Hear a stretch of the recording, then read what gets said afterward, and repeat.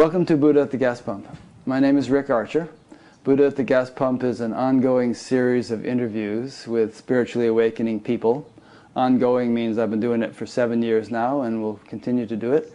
Um, if this is new to you and you'd like to check out previous ones, go to batgap.com and look under the past interviews menu where you'll find all the previous ones organized in various ways. This show is made possible through the support of appreciative listeners and viewers. Um, if you appreciate it and feel like supporting it to any amount, um, there's donate buttons on every page of the site. My guest today is a very interesting person. I'm very excited about this interview. It's Dr. Jude Currivan. Um, she, I, just have been reading her book, um, The Cosmic Hologram, and um, in that book she sometimes refers to polymaths uh, in referring to some mathematician or something. And I would say that Jude is definitely a polymath, which means somebody who is extremely um, well versed in a wide variety of uh, fields of knowledge. Um, she has a master's degree in um, quantum mechanics and cosmology from Oxford, um, a PhD in um, anthrop- was it anthropology, um, studying the archaeology. archaeology, studying the cosmology of ancient cultures. Um, she's a healer, a futurist, an astrologer. she was previously one of the most senior businesswomen in the UK as CFO and executive board member of two major international companies. Um, so she's an extremely well-rounded person and she she swears that she's read all those books behind her and that's only one wall of the room. Um, she's traveled to more than 70 countries worked with wisdom keepers from many traditions and has been a lifelong researcher into the scientific and experimental understanding of the nature of reality. Um, she's written six books and the cosmic hologram to which i just referred is just her latest so, she lives in Wiltshire, England, by the way. So, welcome, Jude. I'm really happy to be doing this with you. Rick, it's my pleasure to be with you guys. Thank you for inviting me. Oh, you're welcome. Um, one of the reasons I'm excited about what Jude is doing is that, um, as you may know if you've been watching this show, I, I, I, get sort of turned on by the juxtaposition of science and spirituality. I, I think that they're kind of two legs of, uh, of the human you know endeavor of, of gaining knowledge. And you, you don't walk so well if you just use one of your legs. Um, I, I, think they they each have something to offer the other to um, to enrich and deepen and make more objective and verifiable the other's field of endeavor. And I, I have a feeling that in a few hundred years we really won't differentiate between them that we'll sort of regard um, you know the the human attempt to gain knowledge as one sort of unified thing, which, in, which incorporates uh, what we now think of as science and spirituality, but both will have evolved and grown tremendously by that time. What do you think about that opening, Jude? I think it's a great opening, Rick, and I completely agree with it. I mean, all my life I've had that sense that there really isn't, you know, the, it's a nonsense, a schism between these two different ways of understanding the nature of reality. I mean, when we go back thousands of years, you know, what is often called the sacred science was exactly that. It was trying to understand the nature of reality completely. And science is a great tool but so is experiential understanding and, and you know and that deeper perspective of, of more than just the physical reality, but multidimensional realities, which of course is the is the is the journey of the seeker of truth through spiritual practice. Mm-hmm. And since you mentioned that, that segues us right into a good starting place, um, which is that when you were four years old, you began to have multidimensional experiences. Um, as I recall, you said that Thoth came to you, and as I looked it up, and Thoth is that Egyptian god that has the head of a bird. Um, so, did you actually perceive that being with the head of a bird, or did, was it more of a sort of a intuitive sense that, that that intelligence that was contacting you at that young age was Thoth? And how would you even have known who or what Thoth was at the age of...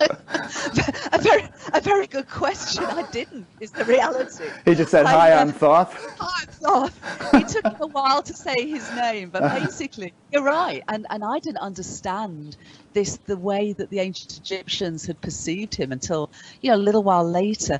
You're right. For me, it was clairaudient. I mm-hmm. heard a voice in my head. It was also clairsentient.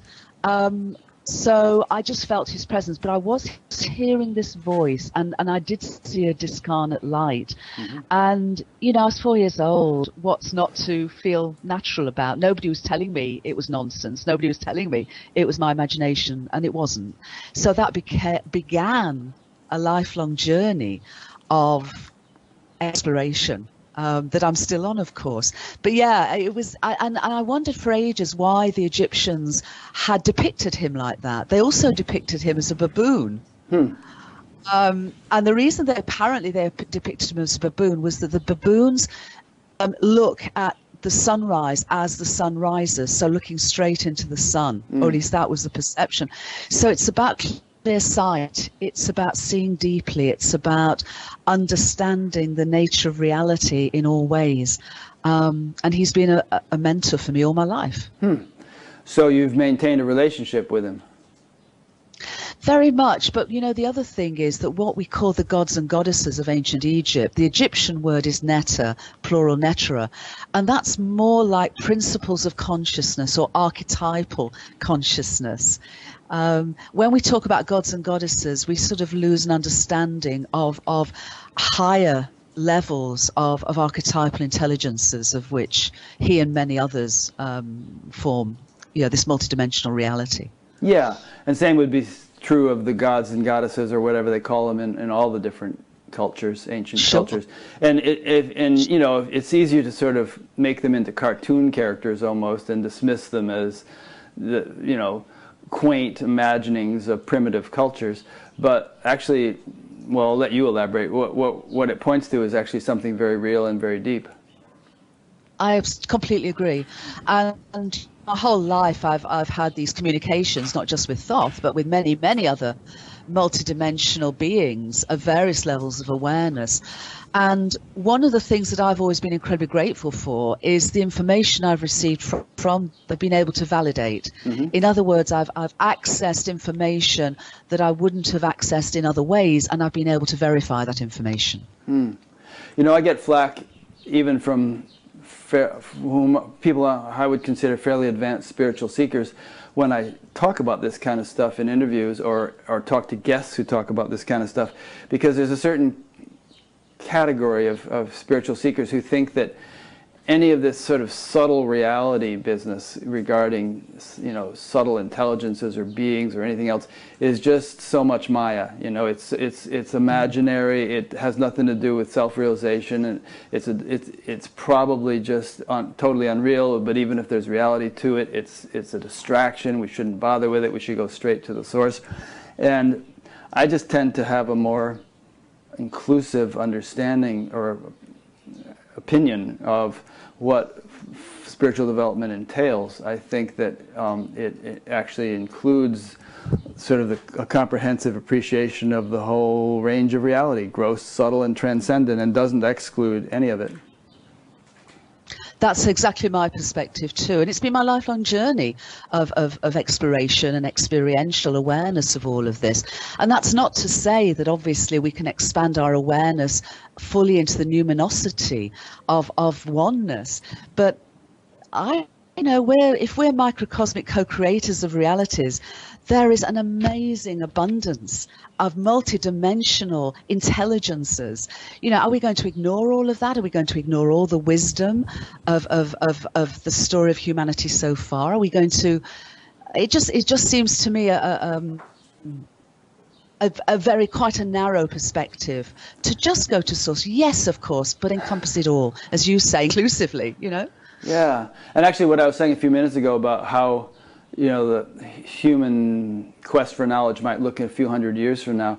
Um, you know, mm-hmm. looking back, there actually were cultures um, wh- in which um, communication with and um, co- collaboration with Absolutely. these subtle intelligence was was kind of commonplace. Uh, they helped another one another. In fact, there's a verse in the in the Gita that you support the gods and they support you. There's, there's I'll scratch your back, you scratch mine kind of thing going on. that just gave me an itchy nose. Actually, obviously something's going on. well, Kel, the thought to the rescue here. but you're right. It was seen. It was seen as a reciprocity. Right. Um, and, and of course, many indigenous people still continue that perception. Um, and for me too, I mean, it's been an enormously powerful, empowering, supportive, nurturing, continuing presence in my life. And as I say, I've, and as many, many folks have, you know, to, to obtain information that I couldn't have discovered in any other way and it's been verified. So it's not just imaginal. It, it is it is verifiable information and deep insights, deep insights for me at any rate, of who I am as a person and what the world is like. And it's a very beautiful and very all-encompassing perspective of the nature of reality. Mm. Now, when I hear something like you know this being comes to a four-year-old child, or to anyone of any age, but particularly you know four-year-old child I kind of get the feeling like, well, okay, they're they're tagging you. They're they're saying, you know, hey guys, we've got a live one here. Let's give her some juice. You know, this this person this person could actually be very instrumental and, and helpful in, in furthering planetary evolution. You know, let's kind of like give her our support and, and blessings and help her along. Yeah, I feel that, but I, you know, the ability the to, to, to engage multidimensionally is innate in who we are. You know, I'm not special in that regard, and and and you know, we all have those. Uh, you know, I think we all have those. We all have those abilities. I suppose what was great for me is it was so early that it was natural. Yeah. And funnily enough, it never occurred to me to actually have a conversation about it with any of the folks around me. So I was never in that really difficult position of people saying, oh, it's just your imagination, forget it, or you're just dreaming, or what nonsense, stop it. So I was never closed down. I was never under pressure. To, to, to, you know close my eyes and my ears to what I was experiencing, and that has been just an amazing gift. Yeah, that's good. And, and you know, there are many people I've talked to who had the opposite experience where they did start telling their parents or something and were told they were just, you know, imagining things or, you know, that sure. it's, it's bad or, you know, whatever. And it, it sort of shut down. So are you, are you kind of saying that throughout your 60 odd years of existence, this communication has continued or was there a period where you lost it for a while and then rediscovered it? I think I mislaid it rather than lost it. Uh-huh. Um, when I was in my mid 20s, I would say between my late 20s and my late 30s, I was I was in international business, as you mentioned in your introduction. Mm-hmm. I was traveling around the world. I was I was in a very materialistic phase of my journey, and and actually it was great because first of all I did so much traveling. I was working with many many different cultures and and peoples. I was practicing my ability to communicate across a very wide breadth of people, ability to multitask, ability to really ground myself, but it was very materialistic. And so all of the guidance and all of the, those communications were on the back burner for I would say those those 10 12 years they were never gone but and, and my intuition was still strong mm-hmm. but I wasn't having the active daily involvement and communication that I was having up till then and, and I've had since. Yeah. So, um, what are some of the more uh, we're going to obviously get into the whole you know theme of your book and everything, but what are some of the more noteworthy um, highlights of of that communication that you've had? I mean, I'm sure there are hundreds you could recount, but um, you know what what really stands out in your memory as being significant milestones or downloads, you know, of, of information? just to, to, mention perhaps several, um, in the late 90s, um, I was going through a very, very challenging part of my life. Mm-hmm. Clearly, I'd left, I'd left international business. I very clearly being guided that it was the right time to do that, but it was an essential leap into the unknown. And um, at the time of the new millennium, or just before that, a couple of years before that, I got a major download of information about undertaking I thought it was going to be 12 journeys. It ended up being 13 journeys around the world mm. to particular powerful spots to basically be a conduit for consciousness to come through and help activate the planetary grid for whatever shift of consciousness humanity was preparing for, is preparing for, is undergoing. And those ended up being something like six or seven years. And the synchronicities and the guidance was was phenomenal. And it was so funny because often I would literally arrive somewhere not knowing why, sort of turn around and then everything would unfold. So I told the stories, the true stories of those journeys in a book called The 13th Step, mm-hmm. which also was very much an inner journey as well as an outer journey because it deepened my own spiritual awareness broaden my own um, ability to to communicate um, multidimensionally. So it was a very much a deep inner journey as well as this this pretty amazing outer journey of discovery. So that was one. Another one was when I was in um, Abydos. Do you know Abydos in Egypt? No it's a place called the Osirian, and um, it's on. It's very, very ancient. Um, really archaeologists don't know how ancient and, and it's very difficult to fit it into their dynastic you know time frame. It's much more ancient than that. But i was there um, at the temple that's next to this this is what is now underground ruins of a temple called the Osirian.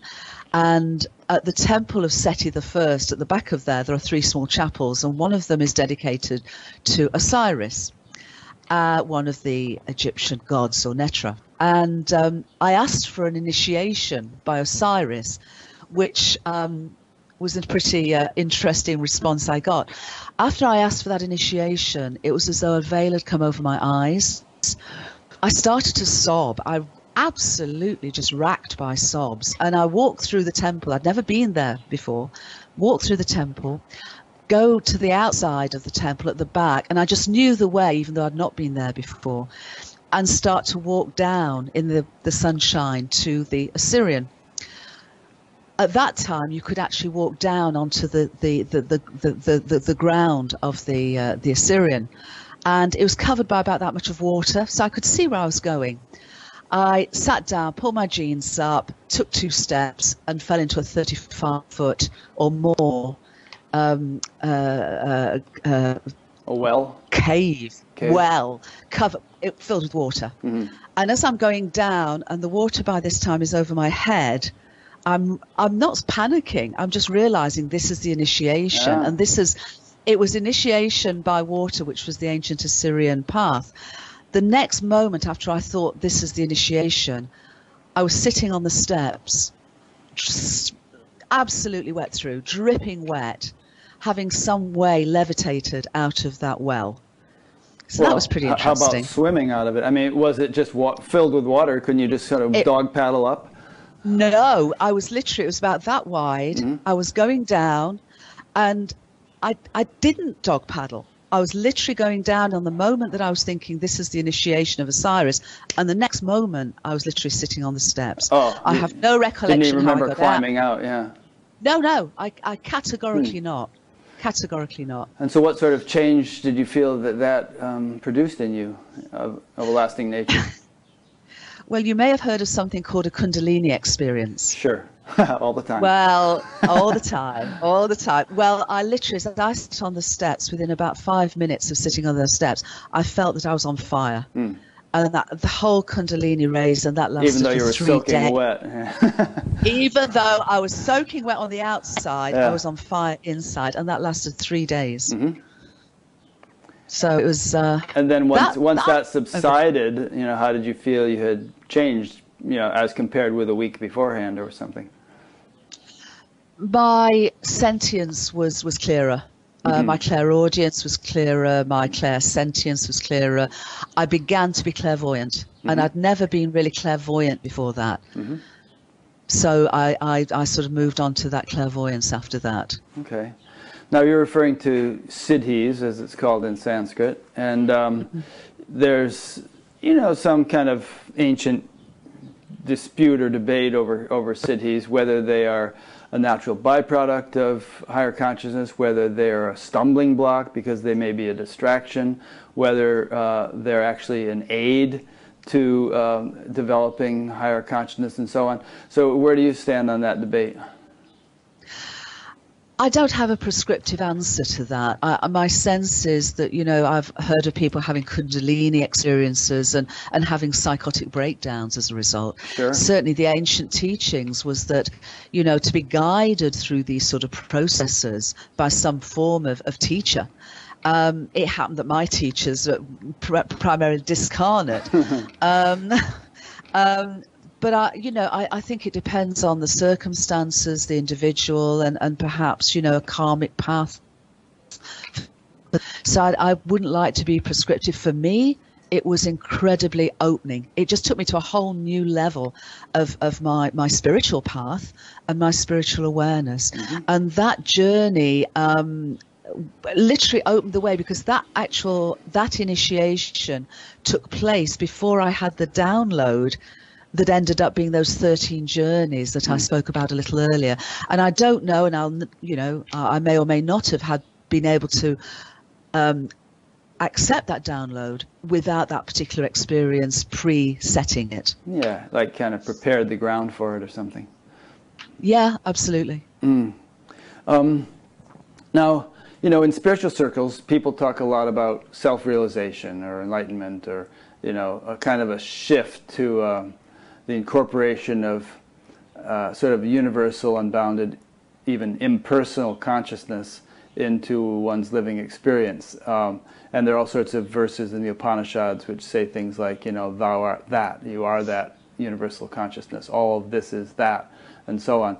And, um, you know, in light of the sort of the immensity of, of that realization, again, sometimes people belittle you know various you know siddhis or psychic abilities or clairaudience and so on they, they say well it's just that's just a, such a small thing compared to self-realization. Don't get hung up in that.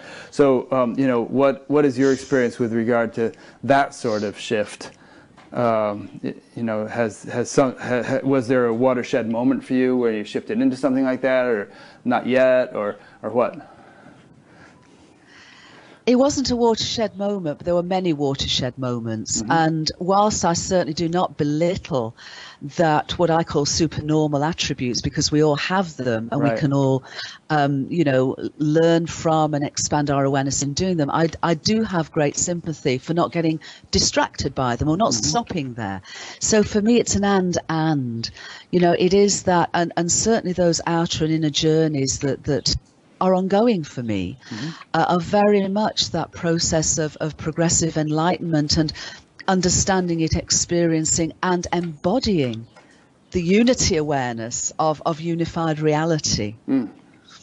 Yeah, embodying is an important term these days. a lot of people are using it, you know, because a lot of people either intellectually or experientially, um, you know, were focused on some sort of self-realization or you, you know impersonal realization, and then they found out after a while of focusing on that that hey wait a minute I still have a life you know?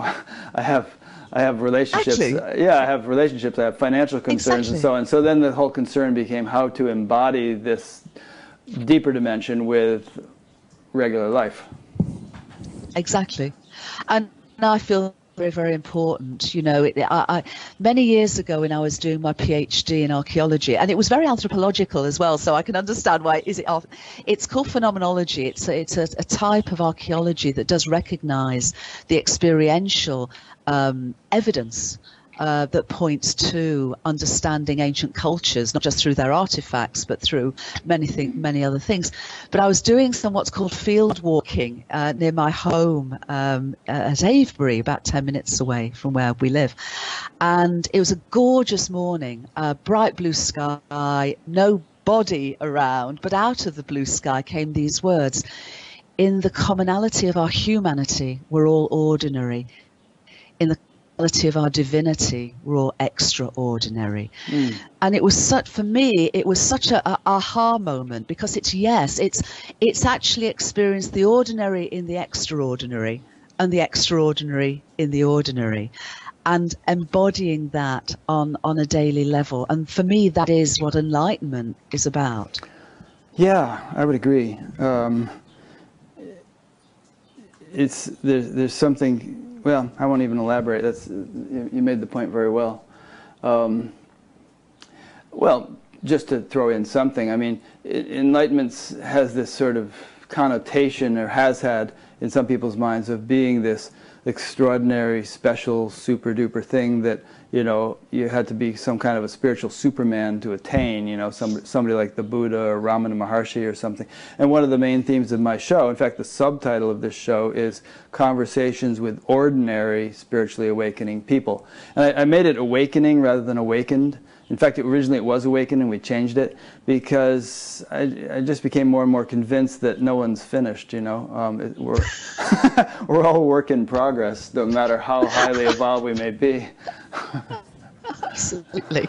Absolutely yeah, I love that, and, and you know, my discarnate teachers, not just Thoth, but the, you know, that's that's what I've heard all my life. You know, this is our, our universe, our universe soul, you know, finite thought form in the in the infinity of the cosmos, is evolving. Yeah. It's you know, it we are all learning, we're all moving, we're all, you know, so yes, work in progress. I would guess that your teachers, Thoth and, and the rest, are, are would cop to that too. That you know we're evolving, and the whole universe is evolving. Everything in it yes. is evolving. Which is not to say yes. that there isn't a level of reality which doesn't evolve, which is sort of like eternal, unchanging, and all that. But as far sure. as far as actually living and reflecting that, expressing that, could there be any end to that development? I don't know because we haven't reached there yet. Right. Yeah. I, I suspect. I mean, I suspect not. I mean, certainly what I write about in the cosmic hologram mm-hmm. is the cosmological um, evidence that's that's definitely moving more and more to this perspective that ours and in fact all universes are finite mm-hmm. constructions of consciousness in which that is a, a, an evolutionary process of learning, experiencing, exploring, evolving, emergent um, within an infinite, eternal cosmic plenum. So, you know, what does an endpoint comprise when ultimately there is no endpoint? Mm. And what would be the point of an endpoint? yeah, exactly. Exactly. It's like God would say, "Okay, now what am I going to do?" exactly. If, if, if, if, it all began because God got bored, I can't see that going back to nothing is going to, you know, help anything. It's just continuing to express and explore. Yeah. So let's shift a little bit to the cosmic hologram. Um, where would you like to start with this? I have like four pages of notes, but um, you know, maybe give us a synopsis of what the book is about. Well, basically, the book is about moving be is, is basically bringing the latest scientific evidence across many many fields of endeavor that's showing that um, it's information not energy, matter, or space time that's the most fundamental attribute of physical reality. So, information, not random data, but patterned information, is more fundamental than energy and matter and space time, and is, is really, as a result, taking us beyond appearance of duality, appearance of, of materiality, um, into a recognition as the ancient spiritual uh, understanding and, and all spiritual understanding is that reality is essentially unified. It plays out on many, many different levels, but it is essentially unified. So it's not that mind arises from matter. Mind is matter. Matter is mind. Information is reality. And ultimately, consciousness isn't something we have, it's what we and the whole world are. But the book doesn't begin there it shows all the evidence of how our universe is and progressively leads to a perspective where the scientific evidence is pointing to that this is this is the case. This is the deeper um, fundamental nature of, of all that we call reality. Mm-hmm. Now, usually when you think when you hear the word information, you think of maybe a newspaper, you know, which actually still exists, um, where you, you have you have you know words, and that that conveys information. Or you think of a computer, and information is encoded in in you know bits and bytes and uh, binary code or whatever. And um, so, if you're saying that information is sort of this fundamental reality, more fundamental than space and time um, what is, how is that information encoded? What is the nature of it? What is the content of it? Well, first of all, just to take perhaps a step back, physicists have known for a very long time just how truly ephemeral physical reality is. I mean, when we drill down to subatomic levels, all that we call whatever, however solid it appears to be, everything is something like 99.99999999999% no thingness. And subatomic entities themselves, at the tiniest, are excitations. They're not tiny billiard balls, they are excitations in, in a field of, of what is now being understood is an informational field rather than anything we've previously termed physical. Yeah. The other so even the physical convert- things aren't physical. No.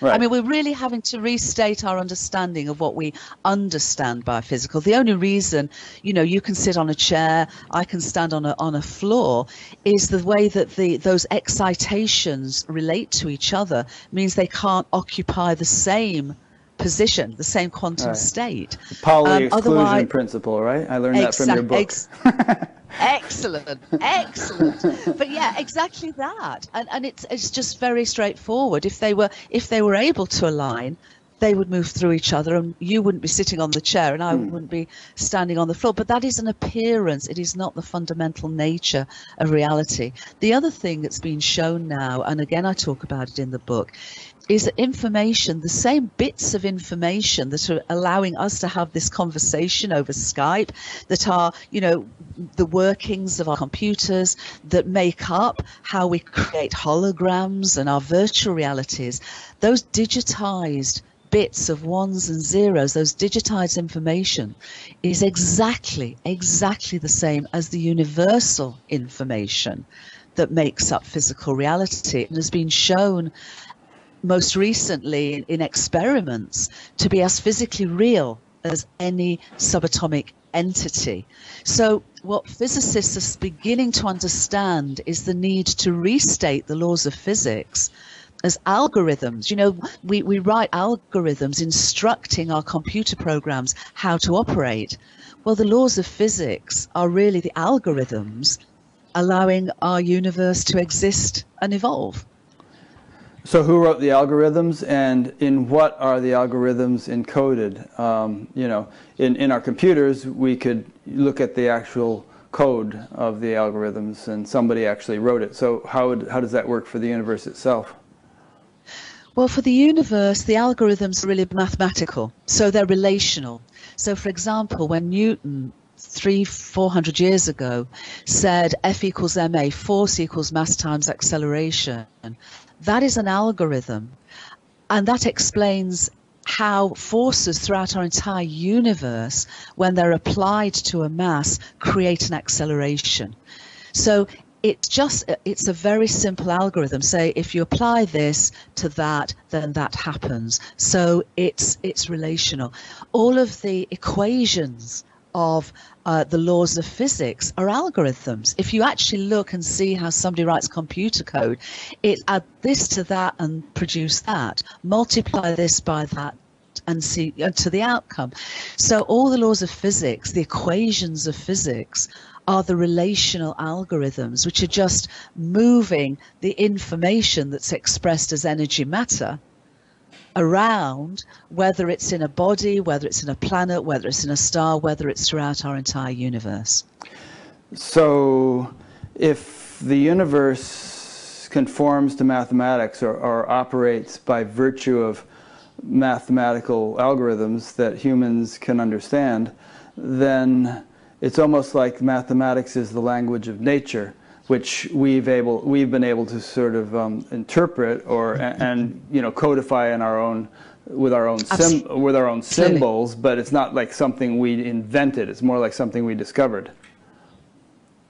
I completely agree. I mean, another species living on a planet at the other side of the galaxy, if they've got to our level of, of self awareness and experiment, will have come up with F equals MA. Mm-hmm. They'll have come up with an E equals H nu. They'll have come up with these equations. They may obviously be using different symbols, mm-hmm. but equal equals, multiply, multiply, add, add, divide, divide. These are the relationships that apply throughout our universe and any species getting to the level of, of, of self-awareness that actually has i mean you know has the ability to, to, to, to do what we do will have discovered these same mathematical underpinnings mm-hmm. uh, that are the, the algorithms of, of, of universal existence and evolution. And that's one of the fundamental principles of science isn't it? That um, the laws of nature are universal absolutely. Yeah. Yeah. Yeah. I mean, one of the things that I talk about in the book is the evidence that our universe is finite and undertakes a finite cycle from its birth 13.8 billion years ago in what I call the big breath rather mm-hmm. than the big bang because it wasn't explosive, it wasn't random, it was incredibly fine tuned, incredibly ordered um, through to its end point. And, and you know, the, the, the, the, the laws of physics, such as they are, are exactly as you say. They, they are universally applicable wherever we are in the universe, whenever we are in the universe. Mm-hmm. As I understand it, the Vedic perspective concurs with that. They, they, I think they even might use the, the metaphor of breathing. Uh, but they also re- recognize an in breath as well as an out breath. And, and just as we breathe, the, the, the universe sort of breathes in and out, or maybe multiple universes do, and it's this eternal cycle my sense is that at the moment, the, the evidence suggests the physical, the physical laws of our universe suggest it's a simple, uh, what's called an adiabatic cycle from minimum informational entropy to highest informational entropy. What happens then is very speculative because we don't have the understanding from a physical viewpoint of to what might happen then there are a couple of there are a couple of theories that I'd write about in the book mm-hmm. um, so there may be an in-breath but the in-breath may be almost the cosmic plenum absorbing what our universe has evolved to. So it may be an in-breath in a, of a different way. Mm. But I agree with you. The Vedas have profound insights, profound wisdom for us. Mm. One of the things they say is that when creation goes back into um, the big sleep. I forget what they call it, but you know that um, all the souls existing at that time sort of go into this, this you know, um, w- what would be the word? This, this sort of um, resting state or something. And then when the next creation comes out, the very same souls come out and continue on in, in their evolution, picking up from where they left off that may well be the case and actually that is that is very close to what leading edge science is, is coming to view. The big sleep is, is what I describe in the book is what happens when that minimum um, information entropy has evolved to the maximum entropy able to be held within our universe, rather like a bubble, very simply, rather like a bubble growing and growing and then bursting. Mm-hmm. When our universal bubble bursts, is that the dissipation back into the, the sleep? That the Vedas talk about into the infinite cosmic plenum, waiting for the next bubble to come forward. hey, and go on where they left off. Let's define entropy, since some people might not be uh, familiar with the term. Okay, well, let's go back to Ludwig Boltzmann, who was the scientist, the Austrian scientist who studied the what's called the thermodynamics of gases, the way gases behave. So it, its attributes of heat, temperature, work, etc. And he came up with effectively two main laws of thermodynamics. The first one's to do with conservation of energy and matter in a closed system, but the second one is to do with this, concept of entropy. Now, he was studying gases, so he was studying, he was doing this before even atoms had been discovered. He predicted atoms, but they hadn't yet been experimentally proven. But what he was basically saying is that the entropy of a system describes its number of microstates, the number of states it can take. So think about this um, in a different way. Think of it perhaps as a pack of cards if you have a pack of cards, you take the cellophane wrapping off and they come out very clean and crisp and ordered. They're ordered in their suits, yeah? So there's that that is a low entropy because they're very ordered. There are very few microstates in that system. You throw them up in the air, they go everywhere. You collect them, they're not going to be in the same order that they came out of the pack. They have more microstates. You throw them up again, and they're even more you know, microstates.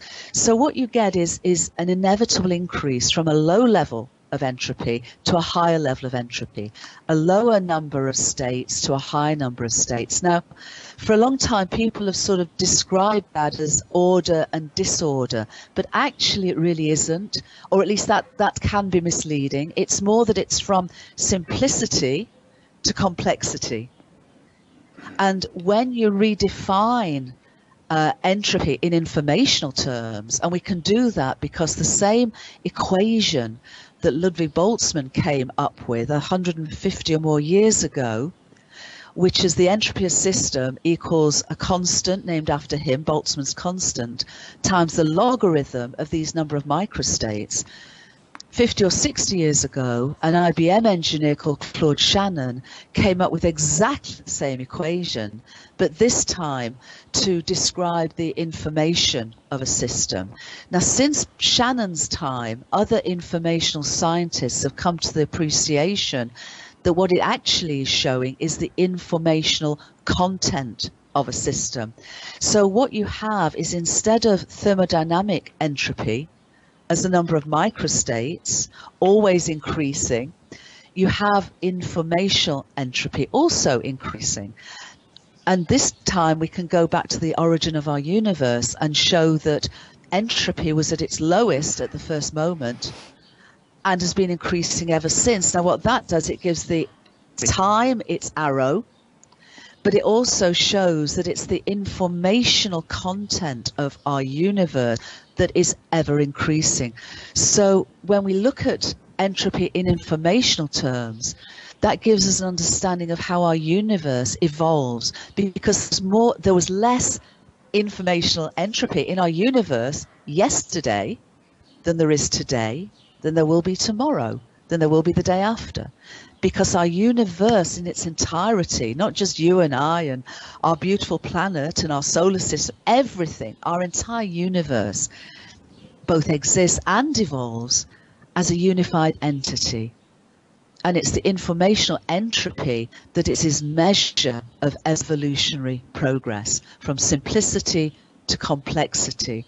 But it's not that space itself is getting more complex, it's that the informational entropy is being more and more individuated from hydrogen into stars, into planets, into biological organisms such as ourselves. Well, it seems to me that that's the opposite of entropy. Let me let me elaborate for a moment. Um, I mean, let's say let's say you take a Volkswagen, a new Volkswagen, and you put it out in, in a field, and you come back hundred years later, and you find a pile of rust.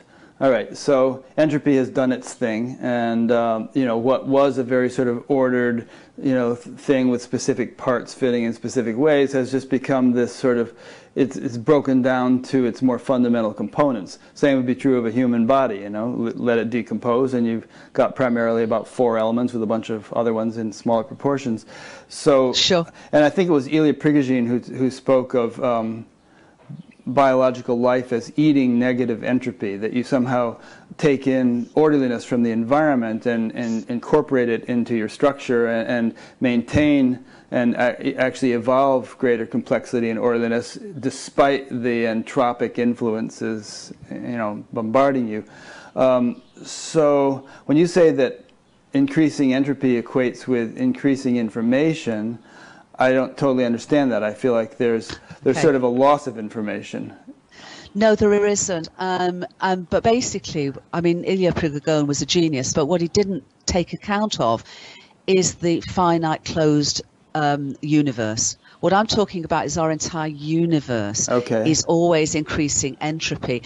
And therefore, to actually separate the information of, say, an organism or a Volkswagen from the environment, you can't do it. That's the point. Our universe is fundamentally interconnected. So the, the, the, the Volkswagen itself, the energy matter of that Volkswagen, reduces to its metals and all the rest of it. But that information is still part of our universal structure, our universe or universe souls uh, uh, continuing um, evolutionary process that is entropic of itself. So you, you, it, the, the problem you have is when you try and dig it into just one bit. So a person, a Volkswagen, a planet, you have to look at the entire universe as, as a unified entity in this regard. And the information is not then lost. It's actually uh, from the holographic principle held on the two-dimensional holographic boundary of what appears three-dimensional space Mm. but actually all of the all of the cosmological um, theories that are moving forward are moving in the same direction of suggesting this holographic principle is fundamental to the way our universe exists and evolves Okay, let's get on to holographs in a moment. Um, but just to pursue this a bit more, um, so okay, fine. So entropy as a whole and throughout the entire universe is increasing, uh, but it would seem that any sort of uh, arisal of, of specificity of, of you know of a planet, of a fern, of a dinosaur, of a human being, it, it sort of bucks the overall trend that there's this sort of um, you know increase of decrease of entropy and increase of orderliness and and specificity within a particular expression No, no, within the universe. No. No, no, because order. no, essentially not. What it does, though, it, it, you're right about the specific, specificity. What happens is the universe as a whole is increasing its entropy. Yeah. With it, on a planet, there is increasing entropy because um, increased entropy is more information. Order is the lowest entropy. Disorder is. Oh, that's why I don't like using order disorder. It's simplicity complexity. That is the that is the direction that entropy takes, that information takes. It's simplicity to complexity, but you have to look at it as a whole universe because otherwise you get into this syntropy negentropy cycle, which is not helpful because it's still separating um, units from environments from other u- units. We need to look at the whole of our universe and understand that the entirety of our universe is evolving. And we are its microcosmic, co creative representations of that. Just as we, we you know, have evolved from being a baby to, a, to a, a, an adult, even when we when we our bodies move the information of our consciousness continues Yeah.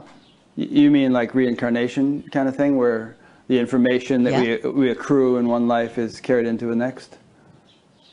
essentially yes but on a much bigger scale than that because if if you going back to the holographic principle and perceiving go back to the bubble idea of our universe sort of being blown up from its very tiny origins mm-hmm. blown up as a bubble that surface of that bubble is where all the information is held, which is why space has to expand and time to flow for our universe to evolve. Because more and more information is held on that surface brane, as it's called, which then appears as experience, as evolutionary processes within what we call space time. Okay, so um, you know you're sitting in front of a bookshelf, and there's a lot of information on that bookshelf. And um, are you saying that the all, all the information in the universe is encoded in the bubble, the outer shell of the universe? Would, would that? Uh, do you mean that literally to uh, to say, for instance, that all the information in the books behind you is is somehow in that shell uh, of the universe? That's that's the kind of thing. Okay. and that's what cosmologists are pointing to all of the all of the uh, various theories are converging on that what we call three-dimensional space is actually a holographic projection from that surface area, from that surface brane. And um, let's let's do this from time to time. I mean, there might be some people who are just sort of. Personally, I love talking about this kind of thing and reading your book and all because it stretches me. I, I sort of hang on for dear life while I'm reading your book, think, trying to understand what you're saying, and, and I feel like it gets more neurons firing to do that rather than just sort of reading a Louis L'Amour novel or something. Um, um, so people who might be feeling a little challenged by this discussion, just hang in there and think of questions you might want to ask, however simple to, to help clarify your understanding of this. And I, I do feel it, it, it is relevant to the whole spiritual enlightenment thing. It, understanding the, the way the universe works is, is, somehow relevant to our personal realization, I feel. Um, and maybe you could elaborate on why that is the case, just as a little interlude here. I, I, absolutely agree with you, Rick. I mean, if, if what we're saying is that within an infinite, eternal, cosmic mind, our universe, our universe soul, is a finite thought form that has a beginning and evolves and experiences and will have an end. We have incarnated as individuated microcosms of that intelligence to play our part. Mm-hmm to help to you know to, to, to, experience and and to play our part potentially in that evolution. So my sense is my feeling this is incredibly empowering. And because the other thing it does is to show us that you know the duality material duality perspective that you and I are separate, that we're separate from our beautifully beautiful planetary home, that you know everything is random and meaningless is nonsense. That is just isn't the way that reality is. So for me as a healer, I know that if somebody has misplaced beliefs or fragmented perspectives, those beliefs will drive their behaviors. So on a collective level, it seems to me that our fragmented perspectives have driven our dysfunctional behaviors. So we pollute our planet, we're causing environmental mayhem, we fight and kill each other, all really coming from this duality based perception, which of itself is, is, is wrong. So if we can heal our fragmented perspectives into what I'm calling the whole world view, then perhaps that will play its part in helping us heal our behaviors. Yeah, that's a great point. Um, you, you um, I, I, mentioned to you before the interview with my friend Robin, who is a mathematician, he and I spent about two and a half hours yesterday afternoon talking about your book and just pontificating about various things. The two of us, you know, just sort of speculating and discussing and all. One conclusion we came to, to is that um, you know Robin sort of drew this graph with his with his hands where you know science is here in the middle and there's a whole bunch of stuff in different directions that science completely loses the ability to deal with. I mean even such things as, as, emotions or economy or things like that it's just out of science's league. And when we start talking about you know uh, otherworldly beings or you know, even what dark matter is, um, which should be within the domain of science, science is mute. They don't know what it is, but they're working on trying to figure it out.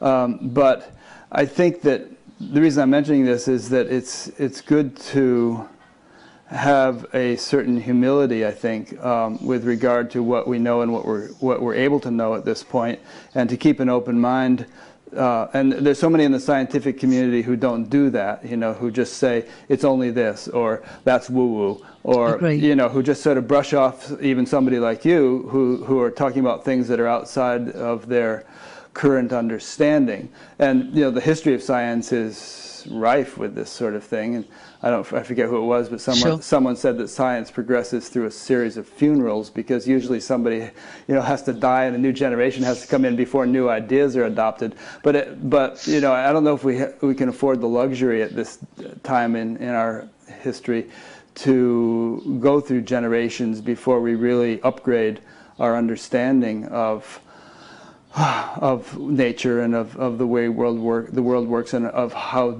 intimately we're all interconnected, not only we humans, but with all other species and with the planet itself. Our, our very existence depends upon a major upgrade happening soon. I completely agree. I think it was Thomas Kuhn actually who wrote a book called, on, who coined the term paradigm shift. Right. And, uh, and and uh, that's exactly right. And, and you know, I wrote this book not because it's an end point, but it's a direction of travel across all levels of science, all scales of research, all different um, areas and fields of research.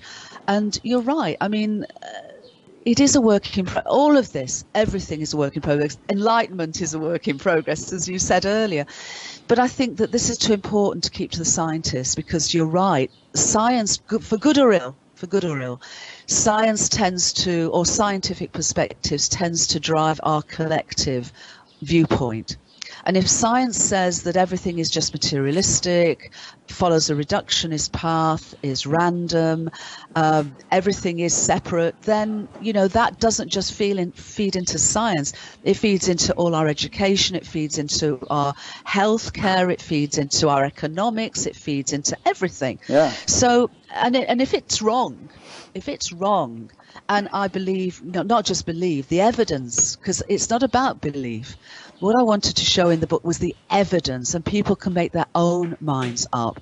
But the evidence is so broad and convergent that, you know, our, our perspective of the world is, is about to transform and desperate needs to transform.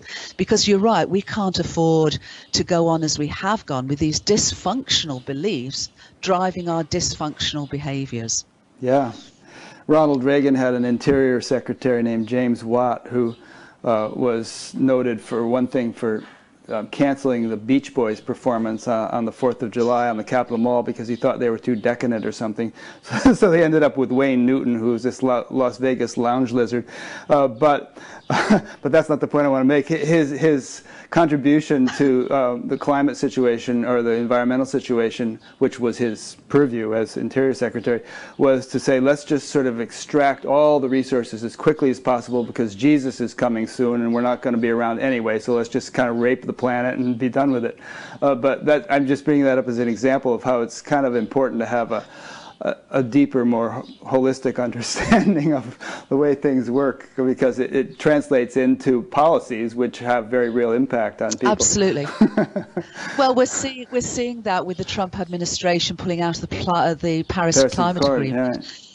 And we're seeing it in terms of, you know, um, a man who was suing the EPA, actually now head of the EPA yeah. and gutting it. Yeah. So you're absolutely right. And when we have these and, and to be fair, you know, it's not just the scientism, it's also religious perspectives that have a, a, a, an adverse effect on how we look after ourselves, how we look after our planetary home. Yeah.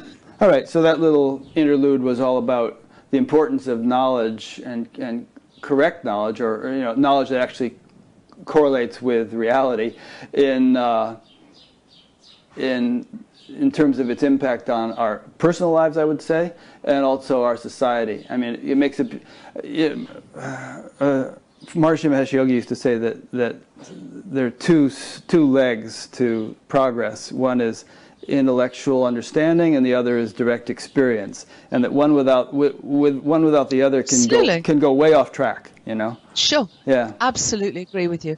And i think the other thing is that you know um, someone once said you're entitled to your own opinions but not to your own facts. Right. so you know i know in the in the in the current situation good knows what's going on. Yeah. but what i try to do in the book is to is to be as factual as i can be to be as evidentially based as i can be and then people can can go through that journey and make their own views of this. Yeah. but ultimately i completely agree with you. It's both understanding understanding on the intellectual level, but it's also experiencing um, uh, to, and bring those two together. And, and then embodying embodying because what do we do in the world you know a friend of mine is gordon devrin and he talks about head and heart and hands and this is the first book of a trilogy and it's to understand the nature of unified reality. The second book that I'm just beginning to write is called Gaia Her Story, mm. which is about the experiential awareness of that, um, and, and especially our relationship with Gaia, uh, our Mother Earth. And then the third book and that's the heart. The third book is called Many Voices, One Heart, but it's the hands. It's our story of humanity Because when we understand unified reality, when we begin to experience unity awareness, what then? How do we embody? What do we do about it? What changes? And my sense of it, everything changes. It's like going into a dark room where you think you're alone, you're scared of the dark, you're scared of who else is out there, and you turn on the light and you realize all there is in the room, all there are in the room are friends. Hmm. What do you do? What do you do about it then? That's great. Well, let's have further conversations when those come out. Um, so, holograms. The, the title of your book is about holograms. Um, what's a hologram? Why is that important to, to make as a very you know center, central theme of your book? How does it relate to the way the universe functions, and how, and how does that all tie back to our to any practical significance for us as human beings, and particularly as human beings who are interested in spiritual enlightenment? I love your questions, and they're inevitably about a million parts to answer, so thank you. Um, well, first of all, you asked about what's a hologram essentially. Um, when we look at an object, we are, our eyes are receiving information about that object that's held within the light that's reflected off that object, which is why we can't see in the dark. You know, there is no light available to bounce off objects around us to be received and to see them. Mm-hmm. A hologram is is happens when you actually shine a light on an object. So you you you shine a light on an object, you, you actually split the beam into two. One beam just goes straight on. The other beam is actually reflected off the object. It's a laser light you're does- shining on it. It's a laser light. In our technologies currently it's a laser light. Right. But what it's doing is it's picking up information about that object. It's bathing that object, whatever it may be, uh, in, in, in that light, and it's taking a, an analysis of its three dimensional appearance, all the information about its three dimensional appearance. That light then goes back and, and, and joins the, the, the, the split beam, and then they're, um, they, they're shone on a two dimensional uh, photographic frame of some sort. Okay, and they form a wiggly pattern like you see on an oil slick in a puddle. They create this pattern of waves, and those waves, that pattern holds all the information on a two-dimensional surface that's been picked up by this from this three-dimensional object. When you now shine another light through that two-dimensional um, film, the three-dimensional object is then projected, or the appearance of the three-dimensional object is projected as a hologram. Sure, like So R2D2 projecting Princess Leia in the first Star Wars episode. Yeah. Absolutely. And you know, you go back 30 odd years to that, which I loved, and you look at how far our holography has come forward. And the reason for that is that the pixelation, the, the tiny little data points that can pick up um, the, the information from an mm-hmm. object has got smaller and smaller and more high and high definition. So holograms have got much more sophisticated. But the best pixelation we have for our current holograms are 100 trillion trillion times bigger than the holographic pixelation of space time. 100 trillion trillion times smaller, you mean? No, No, oh, bigger, no, I, bigger. The pixels time. are bigger. That's right. The pixels are bigger. Yeah. The information is less. No, no, no, no. Think about a hologram and the pixelation I've just described. Right. Okay. So you, okay. Now take the principle of a hologram to our entire universe, and this mm-hmm. began when folks were looking at black holes, mm-hmm. and they were trying to understand what happens to all the information that describes a star when a star contracts beyond an event horizon as a black hole. Uh, is the information lost? Well, if the information's lost, then quantum physics is in deep, deep trouble because quantum physics says that information cannot be lost in that way. And yet, so where does it go? So, to cut a long story short, the, the analysis has been showing that it actually remains on two dimensional surface area of that black hole, of that event horizon. Okay. Just as I talked about, you know, for the bubble and the information on the surface area of the bubble, think of that then to our whole universe. So that's called the holographic principle. So the idea is that our entire universe is a holographic projection of what we think of and experience as space time, but a holographic projection from the holographic boundary, what we call space and time. Now, the point is, whereas the pixelation of our human columns is has become much more sophisticated, nonetheless, it doesn't even begin to approach this tiny, tiny scale of the pixelation of space time. And that tiny scale is something called the Planck scale. Mm-hmm. Now, the Planck scale comes about when we throw all the forces of nature together and a certain units come out. And, and again, these would be the same units in different symbols whether we're on this planet or on a planet a million light years away, nonetheless, this comes out as a fundamental scale for the energy and matter and space and time of our universe. And on a spatial level, it's about 10 to the minus 35 meters, which, when you consider that the nucleus of an atom is about 10 to the minus 15 meters, that's 20 orders of magnitude smaller than a proton in the nucleus of a hydrogen atom. So that's the level of the pixelation, tiny little Planck scale areas holding one bit of information for each Planck scale area. And that is a hundred trillion trillion times smaller than the pixelation we've managed to get in our man-made, human-made woman made holograms. Right, so it's very, very high resolution, you could say, to use that kind of a term. Yeah, it's, yeah. it's the rev- it's the resolution of space time. Mm-hmm. It's the resolution of the existence and the evolution of our universe as as um, a, a universe soul, as as a finite thought form in the mind of the cosmos. So, are you saying that um, you know, just as you could have a hologram of an apple and shine a laser through the holographic film and see an apple and so on, um, that everything we see around us, the room we're in, the people we're interacting with, and so on, are holographic projections of information that is encoded at the Planck scale? Yes. And essentially, that it is consciousness.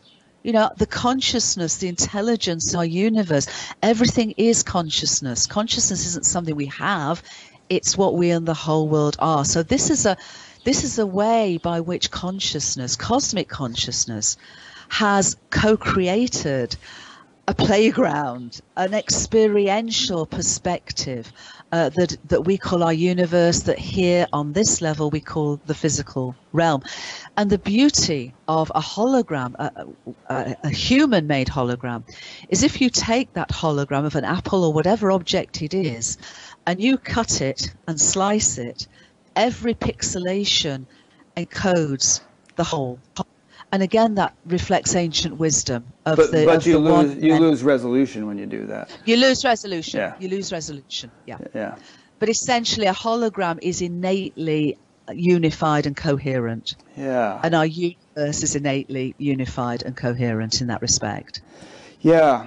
Um, so a couple interesting points here come to mind. One is that we were talking a little while ago about mathematics being the language of nature, and the, the human facility with mathematics is more of a, a sort of a, a, cognition of what the system nature actually uses than it is a human invention.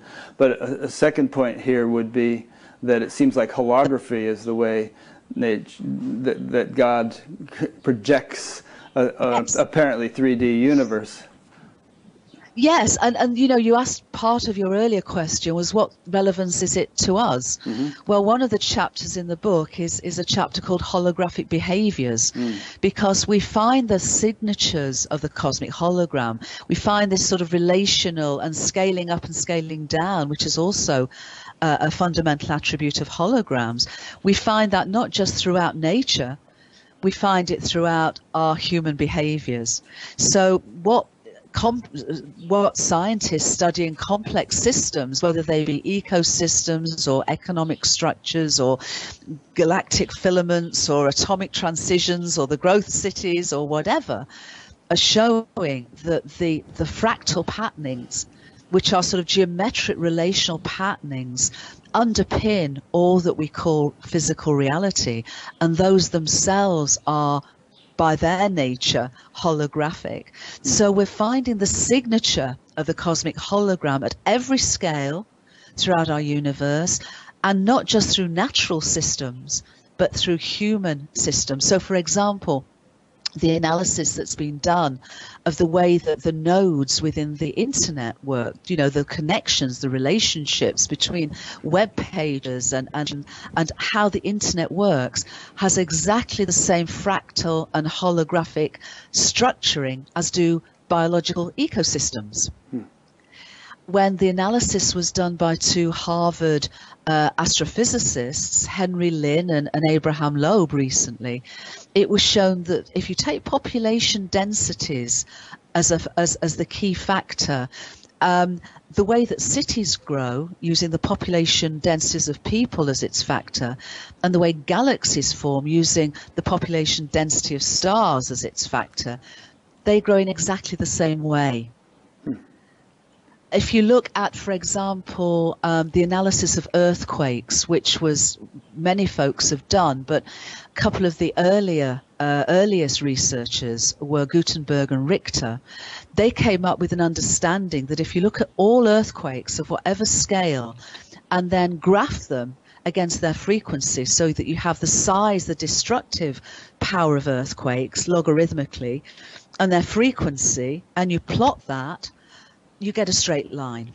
Actually, it's that way. You get a straight line. So what that shows is there's no such thing as an average earthquake.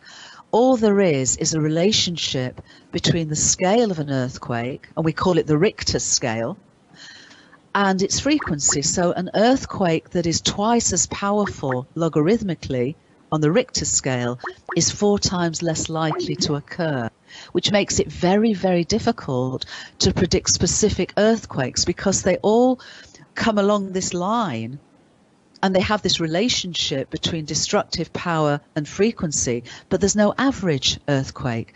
Now, what's crucial, and I think a real aha, is that the same analysis has been done of, of human conflicts just after the Second World War um, Lewis Richardson, a researcher, analysed hundreds of conflicts from the two world wars down to tiny of regional wars and, and, and conflicts. And he plotted them in terms of their destructive capacities of number of human deaths against their frequency. And he came up with exactly the same relationship as for earthquakes. And more recently, um, uh, a, a, team at the University of Miami has looked at insurgencies in Iraq and Afghanistan and have come to exactly the same analysis. Now, that's showing us that the holographic behavior of earthquakes and the holographic nature of human conflicts follow the same patterning, the same relational patterning. And so, what's the takeaway from this? Um, how can we benefit from this understanding? What what can it do for us as a society? Okay. Well, first of all, it's it's showing that we cannot continue to think of ourselves as somehow separate.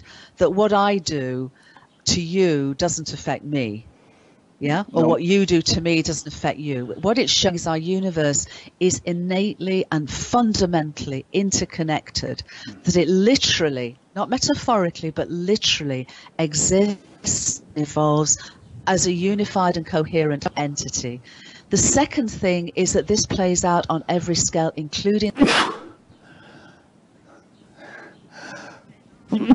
continue of analysis I that muted, I talk I, about. I muted myself so people aren't going to know I sneezed and they're not going to know why you said bless you. But anyway, I just sneezed. Continue.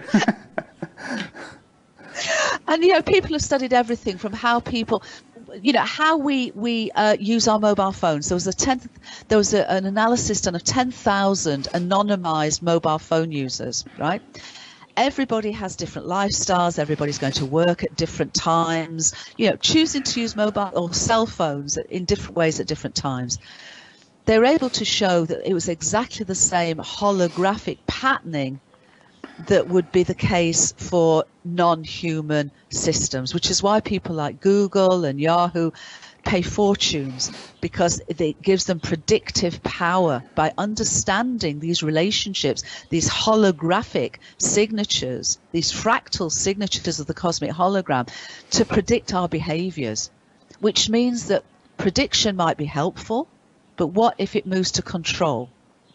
That may not be so helpful. Right. We need to understand this because you know we this is both empowering but potentially challenging and potentially uh, not that this understanding's dangerous, but if we don't understand it, we could sleepwalk into um, you know forces that we wouldn't want to have greater control on our lives, having that greater control Oh, because well, a we lot of are part already of the do. I mean, They do. There's They all do. sorts of data analysis by you know Facebook and Google and so on that makes them more effective at getting you to you know buy the thing or or you know press the button or you know spend you know Sure. they, they know how to manipulate your attention and get your eyeballs on the screen as much as possible. Yes, they do, and a lot of that is understanding the the, the, the sort of fractal holographic patternings that underpin, as I say, our behaviours. But the other thing is, what this also shows is that we, each and every one of us, are microcosmic co-creators. Part of the book I talk about is what I call supernormal phenomena that we all have abilities within, such as um, such as t- telepathic, such as uh, um, levels of precognition, such as clairsentience, clairaudience, etc., which you know d- would not reduce our humanity, but actually enhance it in that regard. But also, we have far more power. You know, our, our thoughts do affect not just our emotions, but our bodies. And I show evidence of, of experiments that have shown how monks and priests and nuns can, by thought alone, control bodies. Hypnosis. You know, there are many, many ways in which our thoughts, our beliefs, can affect our realities. So we need to understand this too because otherwise we're sleepwalking into all sorts of issues.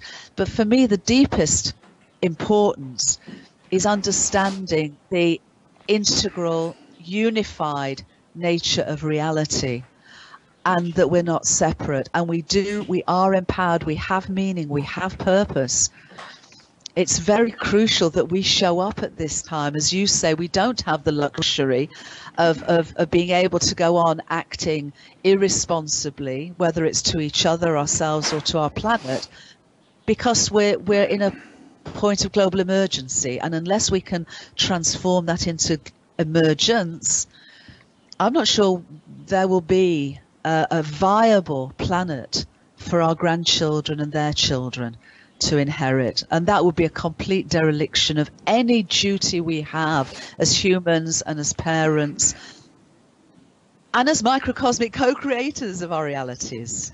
Yeah, there's some lawsuit afoot in the United States where a certain group of rather young people are, are suing.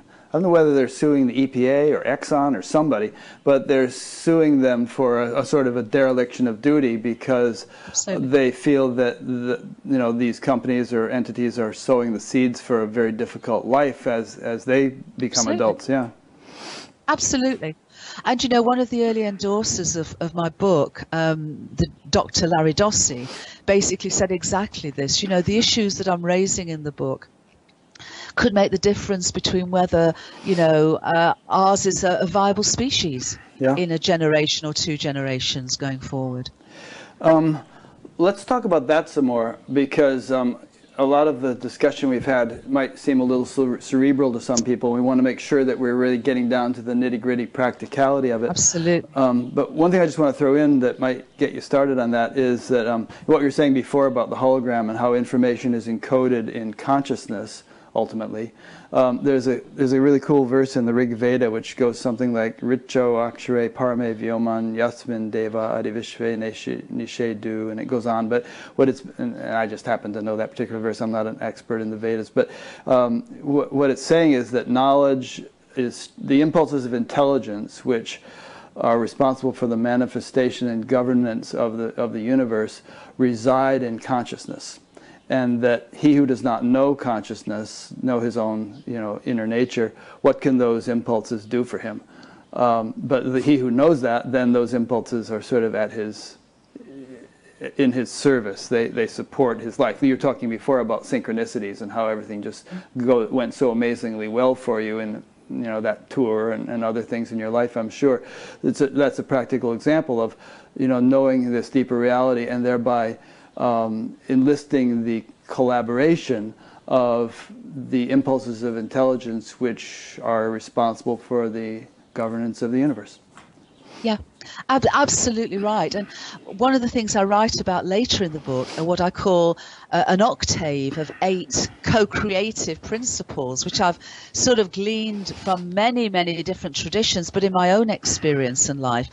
And it is that when we become more aware, we become more attuned to that innate intelligence. And therefore, we, uh, when, we're, when we are open to this, we experience more and more synchronicities, which essentially are our way showers. For me, synchronicities are the way showers that I am in attunement with that, that highest flow. And it become life becomes progressively effortless and i don't mean it's not has its challenges and i don't mean you know we don't have to show up but it's about showing up and getting out of the way out of the the way of the ego and flowing with this this higher um, flow of, of the universe's evolutionary impulse and being with that. It's been rather like a, a, surfer, you know, catching the wave and going with it rather than trying to fight it or second guess it or, you know. So there are there are really practical, everyday principles of co-creativity that certainly in my life have made an enormous difference to, to my well-being and my appreciation and my enjoyment of, of life. Yeah. Um, you know, we were talking about the holographic principle, holographic universe, and the, and how the pixelization at the Planck scale. And um, would you, and this is a bit of a, a segue here, doesn't play off exactly what you were saying just now, but um, would you say that um, and, you, in your book, you quote Deepak Chopra, who was quoting Maharishi Mahesh Yogi, using the using the phrase "field of all possibilities" to refer to that sort of unmanifest uh, field of all knowledge or field of all all, all potentialities. And um, so, would you say that each of these pixels at the Planck scale has to be a field of all possibilities in and of itself, or do pixels kind of specialize as they might on a computer screen where they're all different colors and they kind of collaborate with each other to produce certain manifestations? In other words, is, is the total knowledge contained in each point, or are, are points uh, more specialized than that? I would say the points are more specialized than that, and I think we need to sort of take a step beyond that holographic boundary. What I'm describing as that holographic pixelated boundary of information is the pixelated boundary of what we call the physical realm. Yeah. So that pixelation at the Planck scale holding one digitized bit of information per Planck scale can hold a vast, vast, vast amount of information through the whole cycle of our universe. But it's the information that is manifested within what we call space time.